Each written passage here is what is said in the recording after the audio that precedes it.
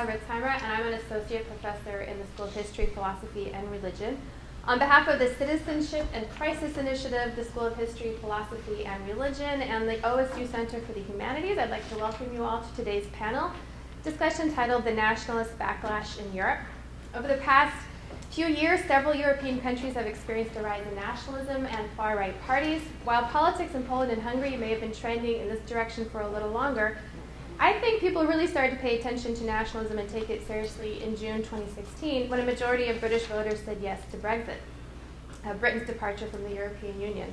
At nearly the same time, Germany saw the growth of Alternative for Germany, a far right nationalist political party that became the third largest party in the, in the Bundestag this past September. And for several years now, Russian President Vladimir Putin has been using nationalism to strengthen his position both at home and abroad. Why is nationalism on the rise? Is it here to stay? What will happen to the diplomatic and economic alliances that European countries, often and together with American encouragement and support, carefully knit together in the years following World War II? Our distinguished panelists today will shed light on these topics. Our plan is uh, to have each person speak for about 12 or 15 minutes, and then we'll have time at the end for questions and answers. So I'm going to introduce everyone now, if that's okay, and then we'll just uh, get going. Our first panelist is Philipp Kneis. Dr. Kneis teaches in the political science program at OSU. He received his master's degree from Humboldt University of Berlin in history and American studies and his MA in American studies, did I get that right? From the University of Potsdam. PhD. PhD, sorry. So um, he regularly teaches transatlantic and European politics. His research centers on cultural and political theory as well as humanistic gerontology his publications include Saged by Culture, Representations of Old Age in American Indian Literature and Culture, and The Emancipation of the Soul, Memes of Destiny in American Mythological Television. Our second panelist, Dr. Keith Baker, is an assistant professor in the School of Public Policy. His main research interests are public administration and British politics. He has published on a range of topics, including electricity market reform in Britain, Governance in Nuclear Industry and Governance in Post-Invasion Iraq. His book titles include Nuclear Power and Energy Policy, The Limits to Governance, published by Palgrave, and a critical review of Scottish renewable and low-carbon energy policy, also published by Palgrave. Um, Dr. Baker moved to Oregon in 2014 from the UK and has found the rain is quite similar. Our third panelist is Dr. Alison Johnston. Dr. Johnston is an associate professor in political science and public policy. Her areas of expertise are the European Union and European integration, political economy, and European comparative politics. She has recently published a book on the Euro crisis titled From Convergence to Crisis Labor Markets and the Instability of the Euro with Cornell University Press and is working on two projects at the present moment, which cover the political economy of housing in Europe and sovereign credit risk before and after the Euro crisis. Our last panelist is Dr. Sarah Henderson. Dr. Henderson is an associate professor of political science. Her research focuses on democratization and authoritarianism in the former Soviet Union. Her publications include Building Democracy in Contemporary Russia with Cornell Press and Women and Politics in a Global World, published with Oxford. And her current projects examine Russian membership in the Council of Europe and civil society in the Putin era. And so with that, I'm going to pass it off to Dr. Kneis in case we need to panic later. So I'm trying. I mean, we came, came up with the idea of doing this panel because last year everybody kind of started to be more and more in a panic mode. And I'm not here to say everything is okay, but also I'm not saying that everything is, uh, is cause for alarm, but just to kind of inform a little bit about what I think is going on.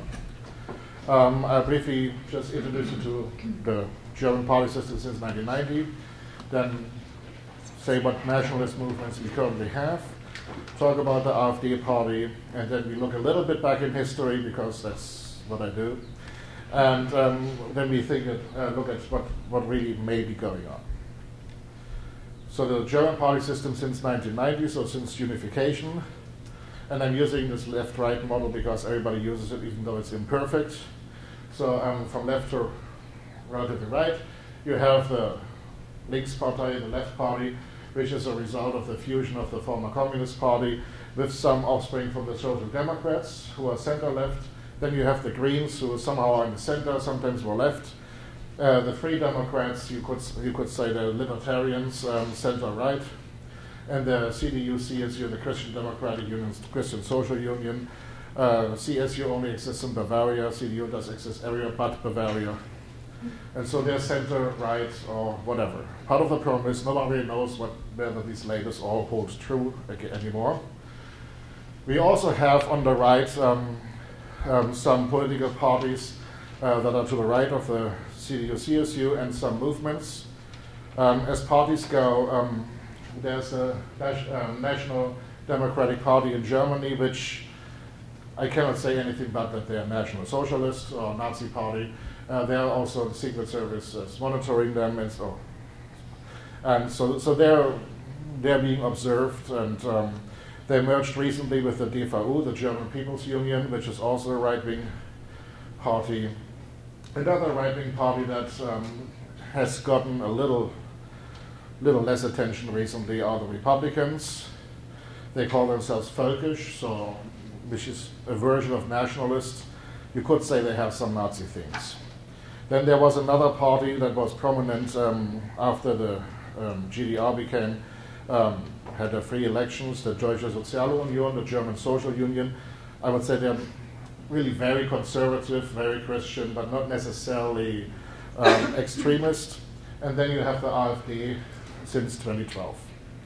On the other side of that line, you find a few movements uh, that have cropped up recently.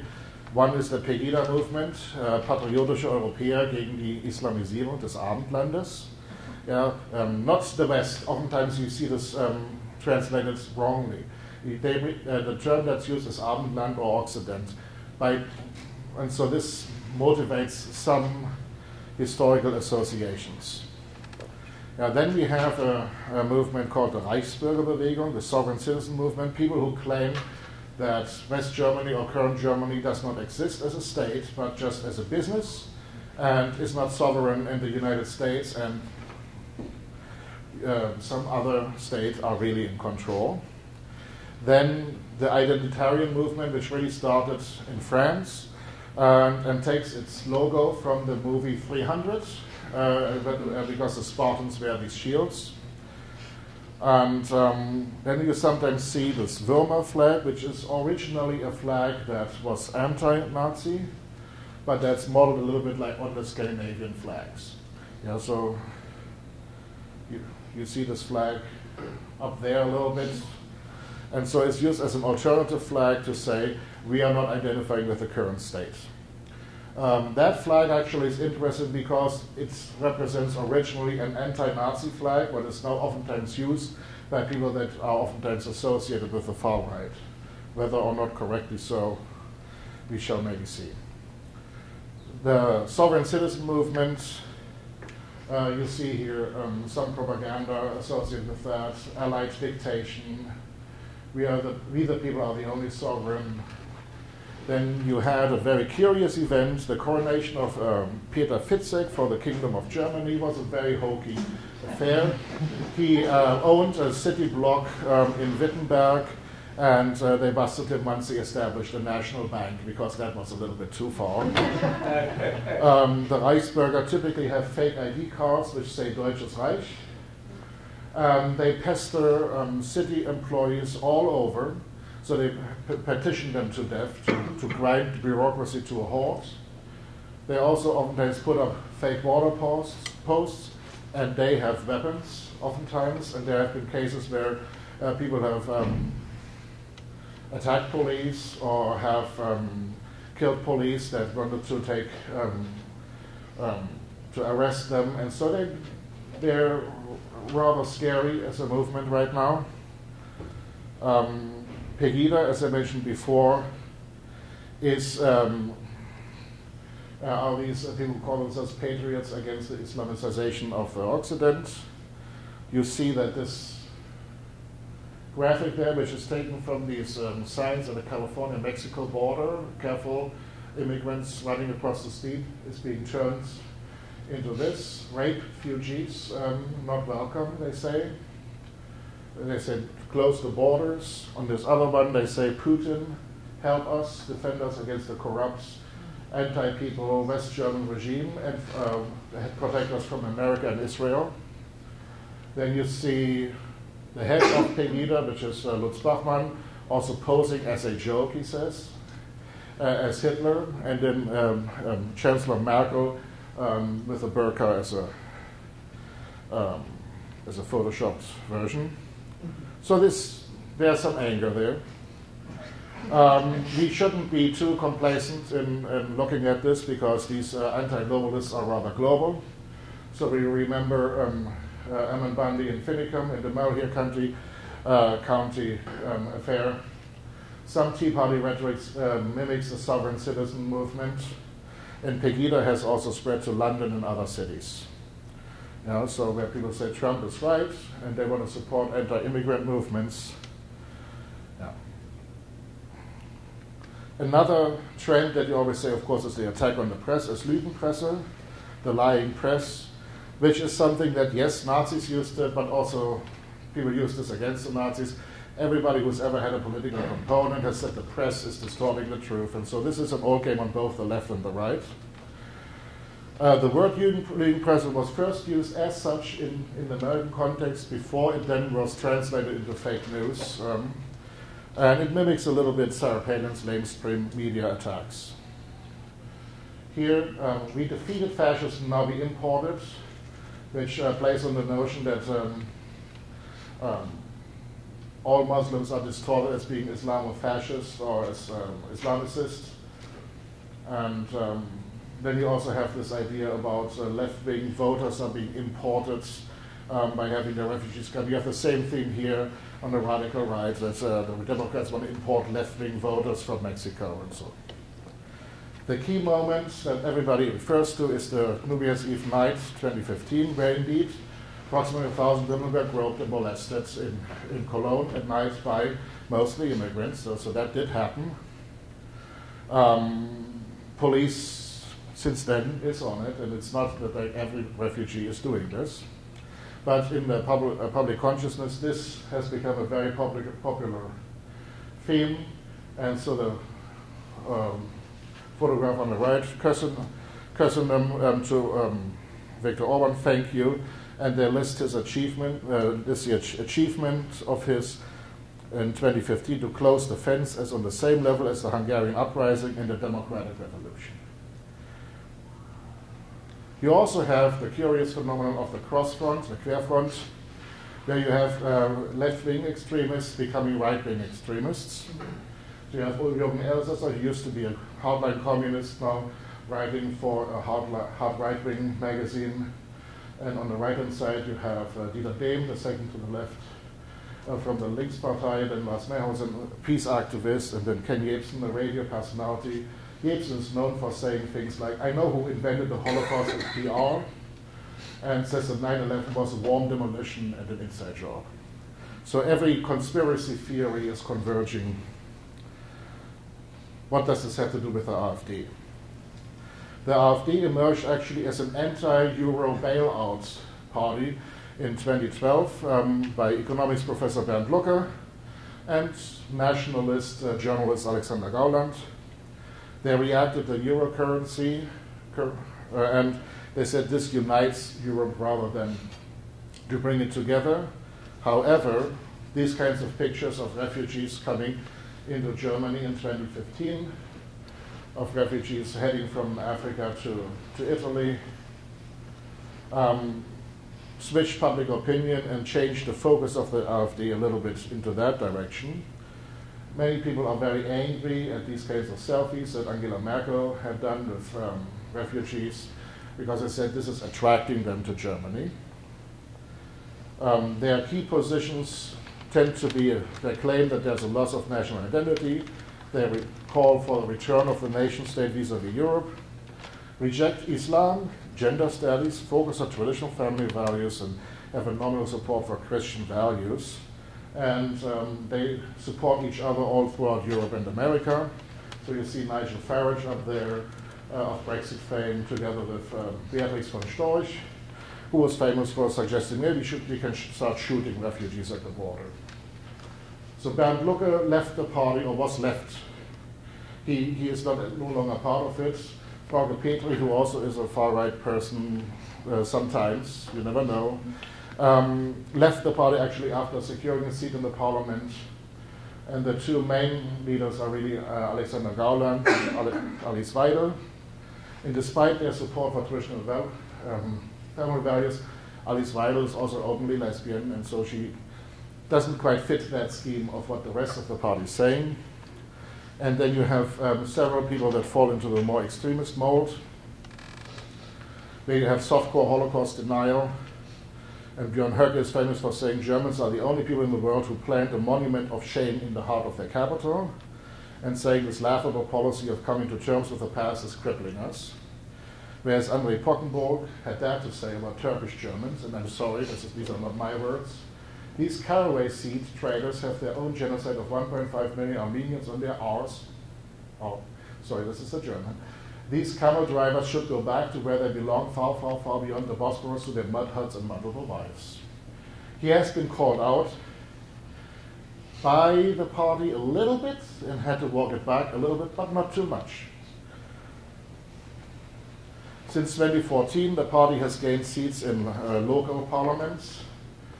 And there's also another pattern. If you look at um, election results for the NPD in 2013 and the AfD in 2017, mind that there is a severe difference in percentage points. The maximum the NPD ever gets is 5%, the AfD maximum was 35%, point five.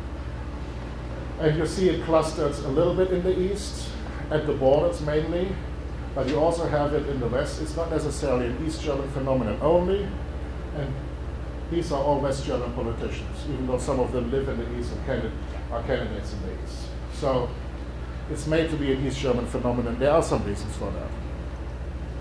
So at the election, you have that picture with blue being the AfD, the rest the establishment parties. Should be panic. Well, if you look at who supports democracy, I would say that there are some in the AfD that are originally CDU that would actually be, could be seen as supporting democracy. And um, I even would concede the point that some in the Linkspartei, more, more, more now than in the past, support democracy. We really have a clear support for democratic values in the parliament right now.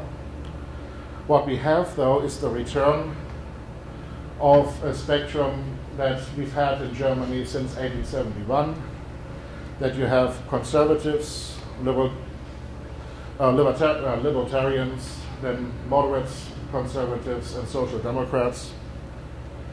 Weimar started out with a really wide mix of parties, but 90% supporting democratic values. The crazy thing in the Weimar Republic time was that by the end, only 43% of uh, political uh, representatives supported democratic values due to the rise of both the Nazi Party and the Communist Party. But even in East Germany, even though there were no elections that mattered, um, on the right you see the official East German party landscape. Even there you have a nationalist party included.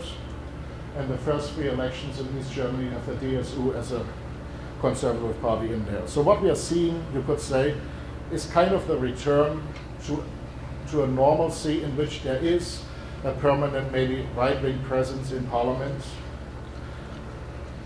Why did this happen? It happened because parties shifted. Uh, the FDP dabbled a little bit in anti Semitism in 2002 and moved to the right. The SPD did some welfare reforms, moved to the right, created this offspring that moved with the left, um, with the communists to the left party the Greens keep moving left, and the CDU CSU, you could probably say, was sick and tired of always being seen as the right wingers, and they moved to the left too, especially when Angela Merkel said, you know, we have to support gay rights, we have to support Euro bailouts, and with all these refugees in the Balkans, somebody had to take them in. And the position was, we are the biggest country, if anybody can do this, then we should. But you bet the next call was to Viktor Orban, is defense ready yet? Yeah, so people focus on letting people in. They don't see that maybe the other thing happened too. The AfD is trying to play two positions. They try to make themselves into the real party of the center by saying we take, take over the center that is vacated by the FDP, by the Greens, but they also play to the right wing extremes, Where they will go, we don't know yet. So as I was saying, you have probably a return of a distinctly national spectrum here. The AfD is not the same as Pegida, but it signals to the right, and so they try to get votes from there. It's unsure how to position itself. If it moves to the right and moves to the extreme, it may face the same fate as all the nationalist parties in Germany that they will sink, um, sink down in voter popularity because of heavy infighting too. While Putin has some kinds of interests in Europe, and we'll hear later from uh, Sarah Henderson about that, this aligns only partly with Pegida. Some of the Russian friendliness is there because um, actually Russian German immigrants to Germany are against immigrants in many cases, and the AfD has managed to capture that voter potential. It's like, I was able to get in, but no one else should come in after me. Um, you have fears of antagonizing Russia. War against Russia has never played out well in Europe. And there's also German exceptionalism because Germany traditionally has not seen itself as part of the West. They see, seen itself as part of the center. What does not help probably is demonizing and ignoring of the AfD. We've seen it in Austria with the FPÖ. There, the right wing party was demonized, excluded all the time, and they just kept growing in power. Now we'll see what um, courts will be able to do with them. So, what should be done, maybe? So, some of these are persistent criticism that maybe we need to listen to, because one of the mistakes is people are saying things, and if we don't listen, then maybe things will get worse. There is a blending of news and commentary that people keep complaining about. People say there's nothing neutral anymore in information. Especially in East Germany, you have people who are very much interested not to have to go back to a dictatorship. It may look like they're radicalized, but oftentimes it's a form of anger that is aimed at what they perceive as a system.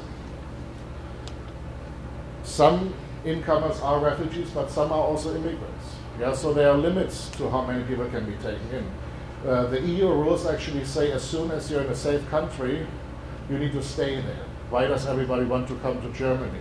As soon as they're in Turkey, when they left Syria, they're actually safe. Why, why keep going?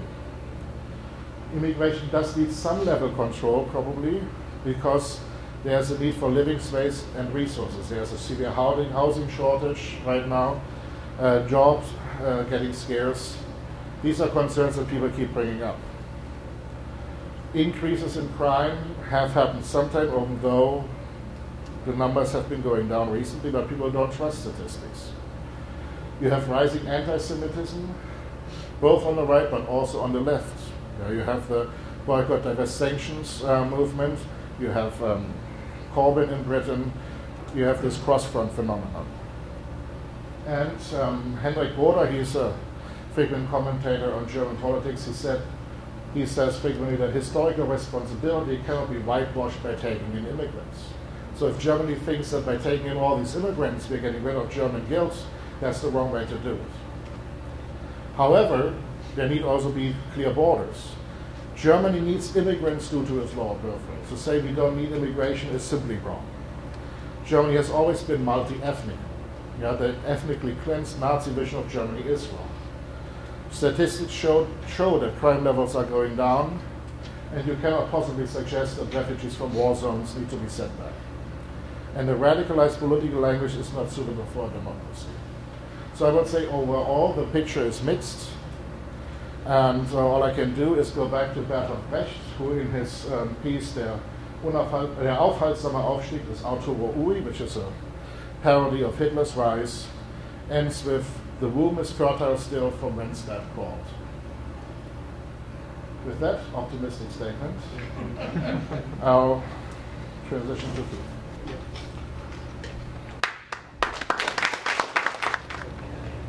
Well, I'm Keith, uh, Dr. Baker, Dr. Keith Baker, and I titled this Not At All Surprising. Now, Many of you will be able to tell by the accent I'm not American, that um, I am British, except there's a degree of subtlety in that. I'm actually English, and that when you hear what I've got to say, you'll understand why I say that England is the issue here. It isn't Britain voted for Brexit, England voted for Brexit. And that's quite important. But when we start talking about Brexit, in actual fact, I don't think it's very surprising that England voted for Brexit. Now we'll start with a bit of background that some of these figures I produced, some of them I cut and pasted from people who are infinitely smarter than me, but it um, illustrates the point. Now, these are just some of the demographics of Brexit, but also the geography of Brexit.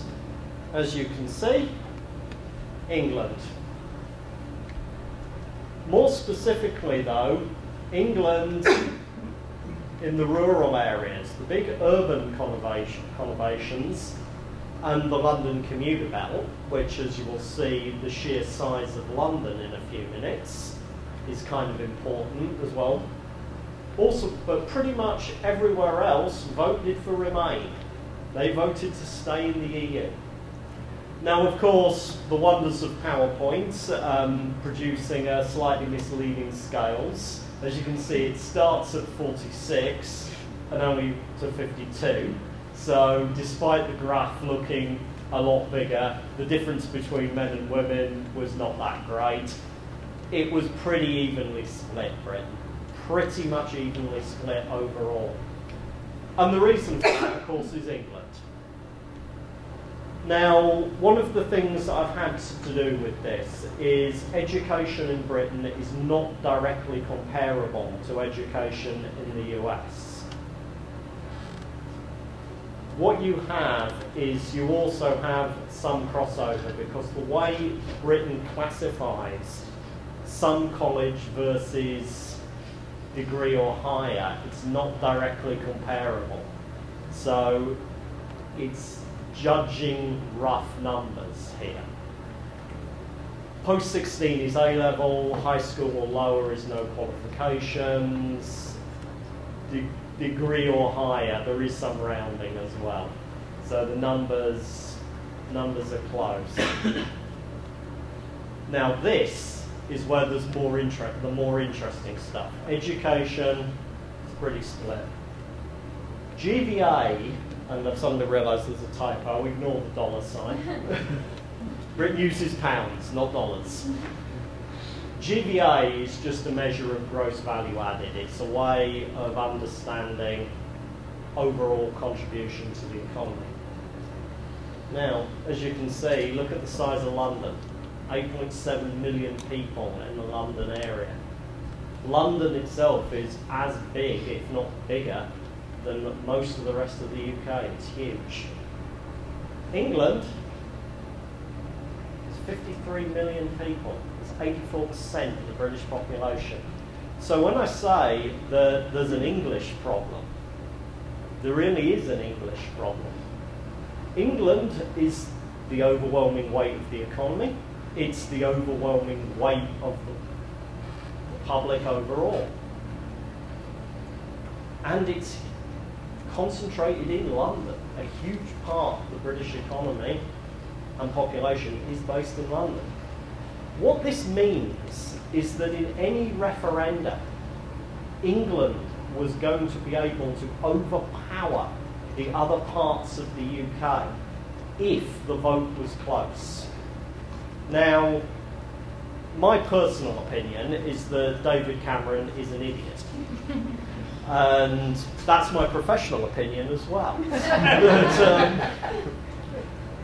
essentially, what should have happened is if you've got a country like this, where the overwhelming weight of the public is in one part, you simply say it needs a majority in all parts of the UK to prevent the English deciding for everyone else. Because the one thing the English like to do historically is decide for other people. We're very good at that. We tried to decide for, for you once as well. it didn't go well. But this is also interesting as well. Average salaries again, if you compare qualifications to average salary, you start to find that the UK average is not that high and is distorted, of course, by high level degree earners. And you also find that people with, of course, no qualifications or very low level qualifications actually earn a lot less than everybody else. Not really surprising. And this is because Britain is not really a manufacturing economy. It's what's called a service sector economy. The economy is driven by service sector jobs, and service sector jobs are often relatively high skill jobs. They require what we call, or the National Office of Statistics calls, high level cognitive skills, which require the higher levels of education.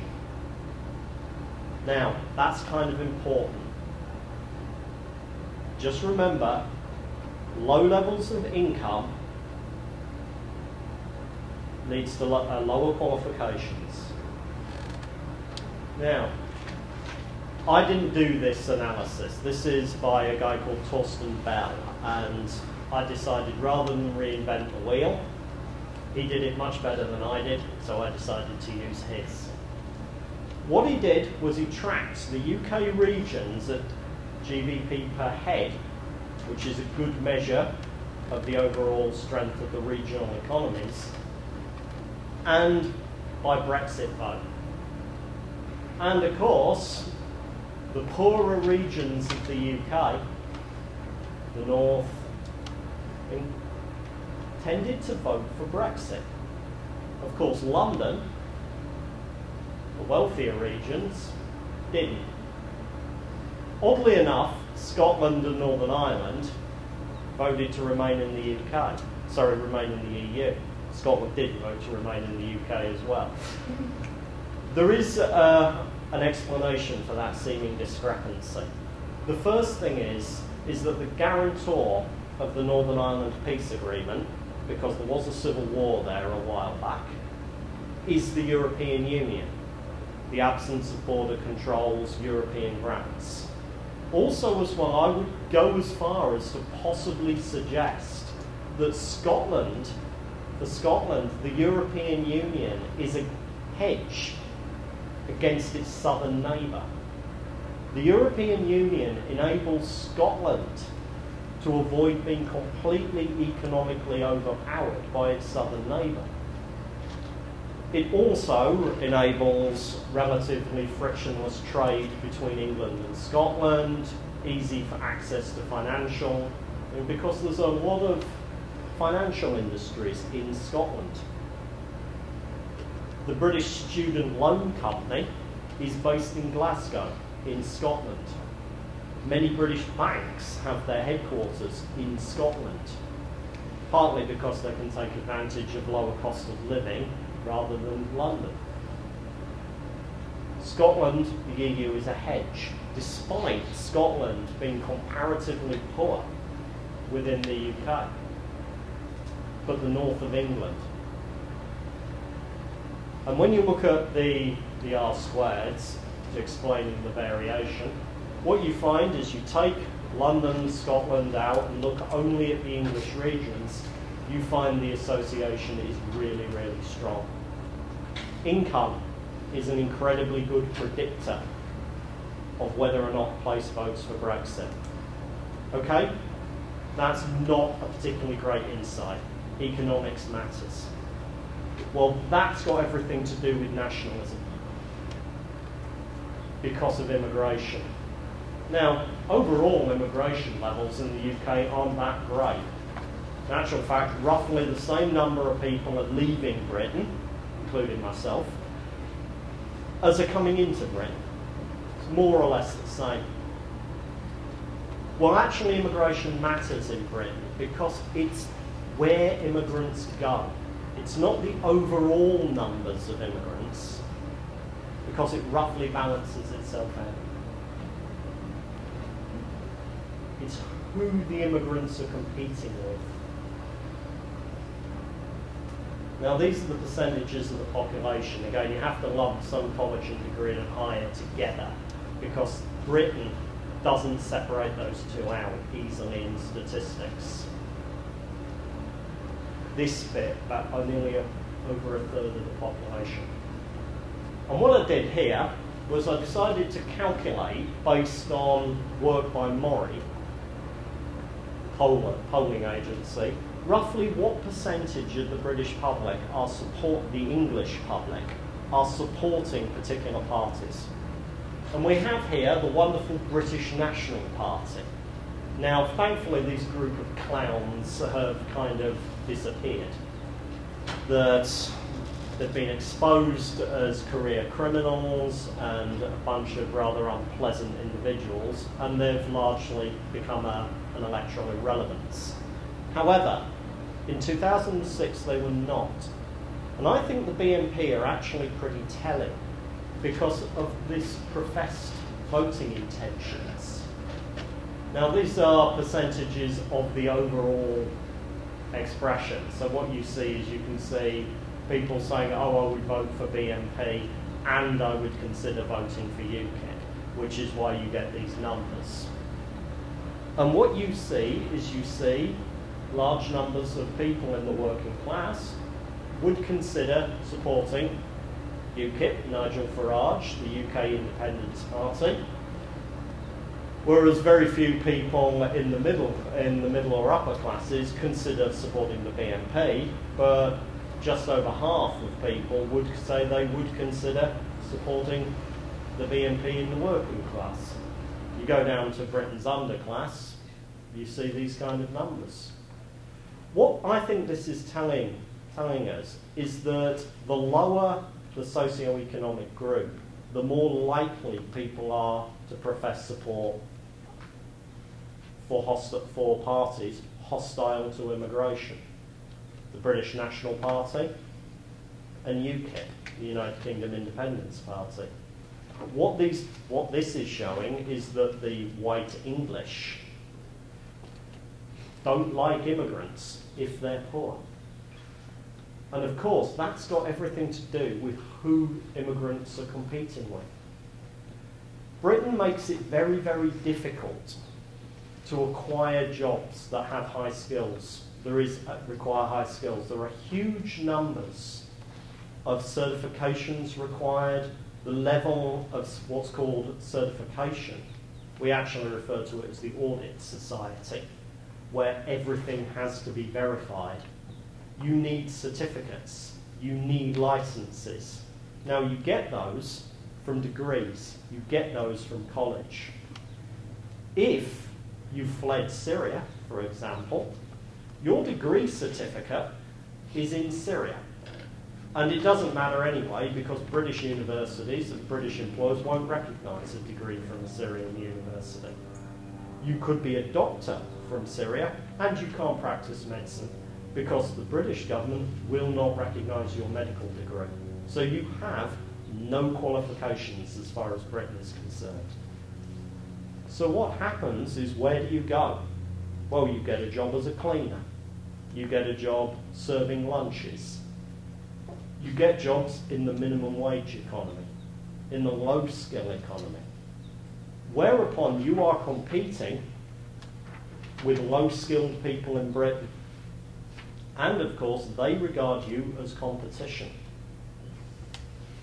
That's why they're giving those kind of numbers, because they're explicitly linking immigration with an economic threat. And I thought I'd end on this, because this was about the most evil looking cat I could find. and I would end by asking the English to vote on European Union membership was like trying to bathe a cat. It's not going to end well, and it's going to end in blood and tears, to paraphrase Enoch Powell. That this is why England voted to, out of the EU, because a large section of the English population saw immigration as a threat. There were a significant number of people in the higher economic groups who, for whatever reason, romantic nationalism, mistaken beliefs in the financial burden of the EU, objected to the European Union as well. together, that's enough to push Britain out. Just. But I would blame the English. And uh, as an Englishman, that's rather depressing to say my compatriots are responsible. But this time we genuinely are. That it was the English that pushed Britain out of the European Union. And we did it as a combination of immigration threat and romantic ideas of the status of Britain. But I personally think it was largely down to the fear of immigration in Britain's working class and underclass communities who saw immigrants as a direct threat to them. The European Union allows freedom of movement. Movement of large numbers of people is possible within the EU. And for Britain, and particularly for working class and low socio-economic groups in Britain, that was terrifying because there was something for them in the claim that immigrants would take their jobs. And that's what I think was going on. That's why I was blaming a cat, because this could have been predicted. The figures I'm using are from 2006. These were widely known. This was known to David Cameron. This was known to the Conservative Party. This isn't new. Which is why I say he was an idiot. and I'm going to end on that. Okay, thank you very much. So the Germans and the Brits, well, English, not the Brits, have gone off the deep end.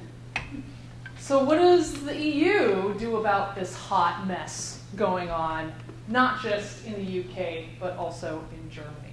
Well, I'm going to provide kind of a short discussion uh, about uh, problems with nationalism and populism that the EU is experiencing that aren't just happening uh, within the United Kingdom and within Germany. And again, as, as Carol mentioned in her, her discussion, you know, we should all probably see 2016 as the real wake-up year, right? This is when Brexit happened. Uh, it took a lot of European elites by surprise, particularly given the fact that polls did not predict uh, that this was an outcome that was going to happen. Uh, and then equally, I think, equally traumatic for the EU was the election of Trump in November 2016, because Donald Trump, he was uh, very supportive of Brexit. He was very supportive of Nigel Farage. Uh, on numerous occasions, he has supported uh, various anti-EU uh, and Eurosceptic groups within the EU, and so this is something that made EU leaders uh, far more cautious and pessimistic. Angela Merkel, in fact, uh, uh, amongst some other European countries, wants to basically pursue even more independence uh, uh, from, from the United States in terms of how foreign policy and economic policy are cooperated. Uh, but I would say 2017 actually was a little bit of a, a, a year of relief for the European Union because I think you had a little bit of a backlash to the populist backlash. Continental Europe saw what happened in the UK, it saw what happened in the US, and it said, hmm, maybe not let's, let's not jump over this abyss. And so there were a couple of events in 2017 that I think brought a, a bit of relief to the EU, but then I'm going to argue that recent events in 2018 uh, have caused it to become more concerned and more troubled with, with nationalism within its borders. So starting first with the Dutch elections. Uh, so the Dutch elections happened in early 2017. This was really kind of the first major European election that happened after Brexit and Trump.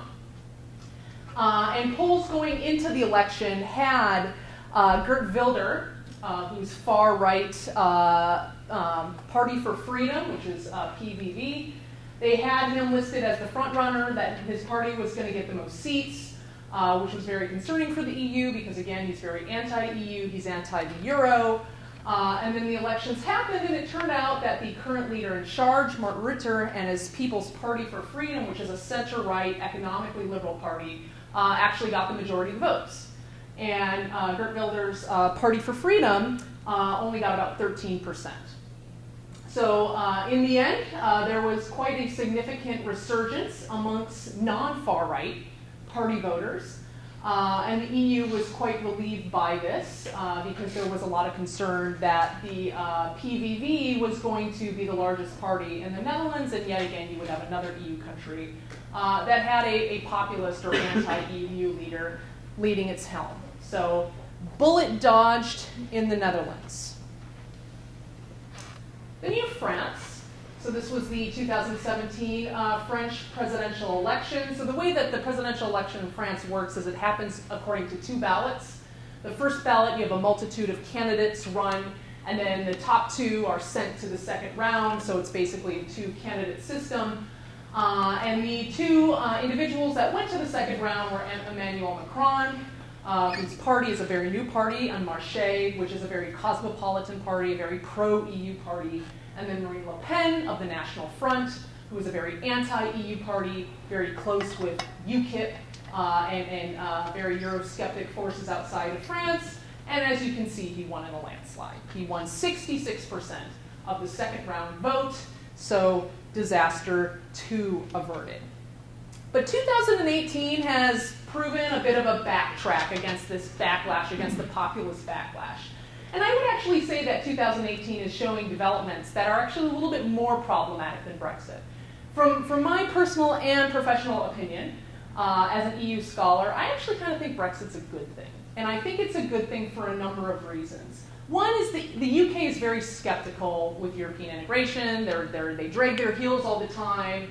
They're laggers. They always kind of put up obstacles. So having them out of the way is going to make EU integration much easier. And in fact, there have been discussions as to what this is particularly going to mean for European defense coordination. Uh, but secondly, um, Brexit is going really horribly right now. The British government has no idea what it's doing. It doesn't really have any idea of how the EU works and how you access the single market, and how, in order to access the single market, you have to allow EU immigration within the European Union's borders. And they don't seem to really kind of understand how this whole package works. Uh, and so consequently, uh, a lot of people are worried that you're going to have this hard Brexit, where basically Britain wakes up in 2019 and they realize they're down to WTO status, and oh no, we now have to inspect every single product that comes into the UK.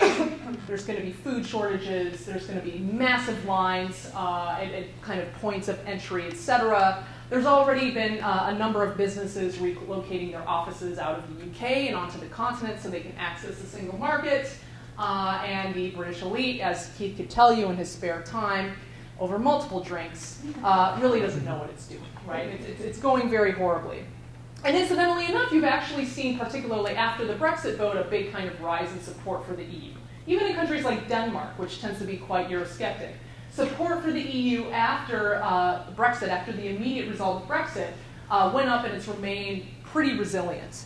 Uh, and even really kind of problematic, more illiberal democracies in the EU's eastern um, uh, rim, notably Hungary and Poland, are actually also quite supportive of the EU and uh, securing a deal with Britain that would protect the EU because they benefit a lot from what's known as the free movement of people. So the European Union is based upon this kind of notion of four freedoms free movement of goods, free movement of services, free movement of capital, free movement of labor. Free movement of labor basically means if you live in an EU member state, you can go and you can work somewhere else within the European Union. There's no kind of bars to you doing so if you are a part of the Schengen area. So Brexit, I think, actually is going to be a, silver lining uh, for the EU. But I think uh, two recent elections that, ha- that have happened in Europe are now demonstrating um, that uh, kind of populist backlash is back, and it could potentially be a problem for the EU. Now, just really quickly, also with 2017, I think Philipp was absolutely right. You know, this is a problem, but probably we shouldn't freak out. All for Deutschland did get about 13 percent um, for uh, uh, 13% uh, of seats within the German parliament, but unlike the Weimar Republic years, uh, none of these parties here have expressed a willingness or desire to work with this kind of far right party. So, again, kind of in line with 2017, a bit of a relief. But there's two events in particular in 2018 that I think are quite problematic for the EU, uh, and that are going to move beyond Brexit, and that I think are more problematic than Brexit. And one is the 2018 Italian election. So this happened in March 4th. Um, and basically, in, in, in this particular graphic here, the center right is really composed of a multitude of parties. Uh, so this kind of, the, the, way that the electoral system in, in Italy works is that generally um, when, when people go to the polls, there's a number of parties within each of these factions, with the exception of the Five Star Movement, which is a uh, anti-establishment party, but a left-wing, kind of cosmopolitan anti-establishment party. This is its own party. But within the center-right, you have a collection of parties that includes the Northern League, who is Matteo uh, Salvini, currently kind of governs that center right coalition. Everyone's favorite Italian politician, Silvio Berlusconi, uh, and his Forza Italia is also in this coalition. Uh, but the center right coalition uh, has won the majority of votes and the majority of seats within the recent Italian elections. And the Five Star Movement received the second highest number of seats within the Italian elections. Uh, Matteo Renzi, who used to be the prime minister of Italy, quite pro EU, his center left coalition was particularly routed uh, in the Italian elections in March. So, why is this problematic? Well, the center right coalition uh, is led by an individual, Matteo uh, Sal- Salvini, who's the head of Northern League, who called the euro currency a crime against humanity. He's very much against the EU, he's made no secret about it. Uh, people within his coalition also very much against the EU. Uh, and the one kind of political faction that could uh, adequately challenge him, the Five Star Movement, is also anti EU. In fact, they want to have a referendum on leaving the euro currency, although they have walked back from that. So, Italy right now actually has a very strong Eurosceptic, anti EU majority within its parliament. Um, and even though this election happened uh, in, in, in, on, on March 4th, uh, the, the, the, government is, is still in, in the process of forming. You have a hung parliament uh, problem where no party has enough for the majority, so they're kind of figuring out which parties are going to be involved in the final coalition. Uh, so one kind of big concern, at least coming from Italy, is that, oh no, we've got all of these anti-EU parties uh, dominating the Italian uh, parliamentary scene. Now, the one kind of reason why I don't think this is incredibly problematic for the European Union is because Italian politics is very disorganized. So, again, they've been working on forming a government for about two months now. If they don't form one by August, elections are going to be reheld, and there's a lot of discontent and disagreement as to what kind of a government is going to be formed in terms of which collection of parties is going to assemble uh, and run Italy.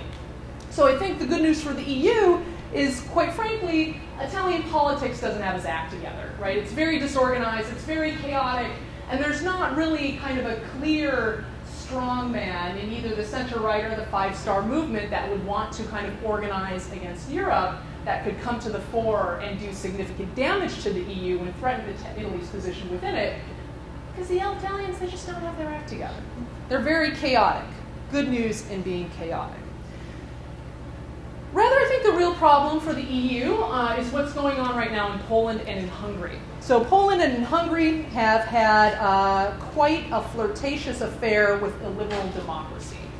Uh, Poland's Law and Justice Party has politicized the civil service, they've turned public media into a propaganda tool, and they've recently proposed legislation to remove judicial independence, which is a central foundation of being an EU member. Viktor Orban and his Fidesz party in Hungary uh, also has engaged in similar activity. Uh, he has modified the Hungarian constitution to make it easier for his party to get supermajorities, and we saw this very clearly uh, in the last week.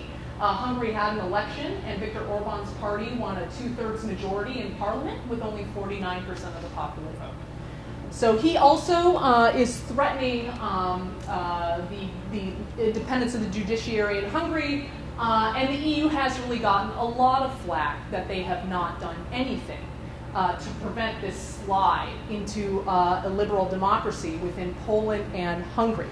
Now, the only way that the EU could actually do something against these two countries is by instigating something called Article 7. So, Article 7 basically states uh, the EU can remove voting rights as well as EU funding from members that violate fundamental foundations of the EU treaties, including respect for human rights and uh, uh, political rights and respect for political democracy. The bad news, however, is in order to impose Article 7 on another, another member state, you need unanimity. And as you can imagine, Hungary has come to Poland's defense and they say, we're illiberal buddies in crime, we're not going to vote for this. So Article 7 is off the table. But in line with Philipp's slightly optimistic assessment, I would say that the EU is finding that it does have a couple of policy um, uh, tools at its disposal for which it can kind of combat this rise in populism. And one, the most important tools, is the EU structural funds. So these funds basically go to poor countries and poor areas. 4% of Poland's public expenditure comes from the EU, 7% of Hungary's come from the EU.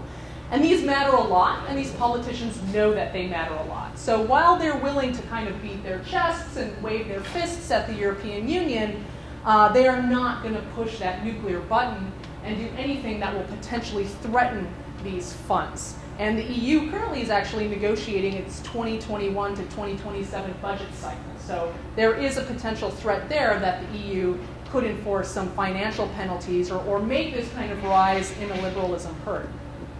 And consequently, I do think you have seen uh, both the Law and Justice Party in Poland as well as even Viktor Orban kind of stepping away from some of their most brutal illiberal tendencies, particularly in regards to uh, making the judicial branch dependent on the whims of the government. So, to conclude uh, my 15 minutes, I guess I would say three things about how the EU is handling the current rise in populism. It's bad, but it's not crazy bad. Not a crisis. One, Brexit is demonstrating that there is a worst case scenario with leaving the European Union. And for the most part, other countries, though they threaten that they are going to do so, are not following suit. Two, even the threats of leaving that you do see are not entirely credible. And you see this particularly within Italy. Even though leading coalitions say they do not want the EU, it is not entirely clear how they will mobilize and launch an effective front in order to actually pull the trigger and initiate Article 50 to leave the EU. And then third, one possible silver lining that the EU also has is that it's realizing that by have integrating these countries so thoroughly together, by providing financial assistance, particularly to poorer countries, it actually does have quite a few tools at its disposal uh, in terms of bringing many autocrats potentially into line.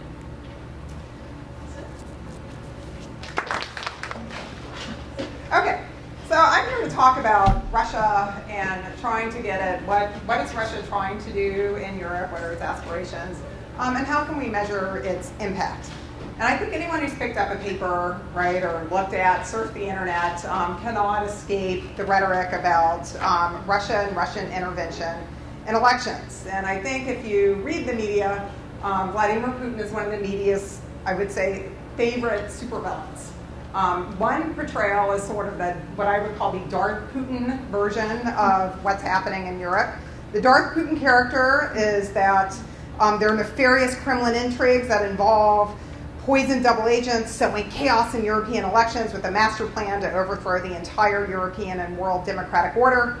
Tough sanctions are the only way to deal with a leader bent on global domination. I think there's a second narrative about Putin that I would call the Putler narrative, um, this one discusses and focuses on Russia's annexation of Crimea in 2014 and intervention in the Donbass, um, its military actions in Syria, and quickly telescope to future visions that um, Russia is simply trying to restore the old borders of the USSR. It's a scary, revanchist, aggressive, and expansionist reincarnation. In this view, any kind of negotiation with Russia is tacit approval, appeasement is of the vilest kind and the only thing that can hold Russia in check is beefing up NATO. Combine these two together, Darth Putin and Putler, and the pictures of a supervillain, both omnipresent, omniscient, and threatening. We are engaged in a life and death Cold War 2.0, and in the words of Speaker Paul Ryan, Russia is a global menace led by a man who is menacing. Get out your lightsabers. On the other side, there's another perspective, um, this one, that sees Russia as kind of the dying bear. Those kind of narratives focus on the fact that Russia is facing a, a, host of problems that it can't really solve quickly. Um, it has a declining birth rate, um, poverty levels are on the rise. Uh, some of the biggest killers are high rates of alcoholism, um, as well as one of the highest murder rates. Um, the, these kind of projections focus on the fact that the Russian economy is not growing and it's fairly dependent on energy exports. And that view was represented by former President Barack Obama, who expressed his view, noting that Russia was at best a regional power, a weaker country that doesn't produce anything worth buying except oil, gas, and arms. The policy implications of that was kind of marginalization, right? Why worry about Russia? It doesn't matter, it's going to implode and kill itself.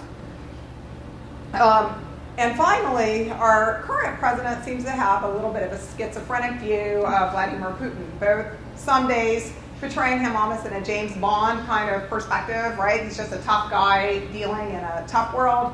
Um, and that goes back and forth with perhaps being the super arch um, villain in, in James Bond. Um, that um, the best way to deal with Putin is various activities such as naming and shaming.